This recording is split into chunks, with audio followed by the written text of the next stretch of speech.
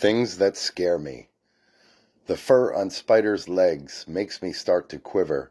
Sharpened steel, formaldehyde, I feel a chilly shiver.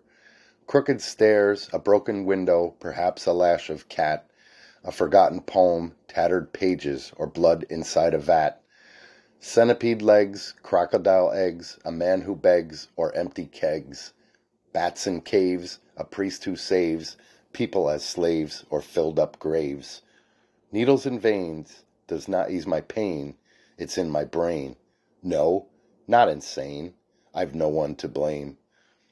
A crypt inscription, mass infliction, thank God it's fiction. Spiral stairs, unwelcome glares, or hungry bears, an unwanted dare, a politician who cares. Men who heal, a real bad deal, a perv that feels, or a skipped meal, or uneven keel. A dirty look, forgotten book, a queen trap rook, a thief who took, or a pissed off cook. Black candlestick, good horror flick, or magic trick, unburned wick, or hooker's dick.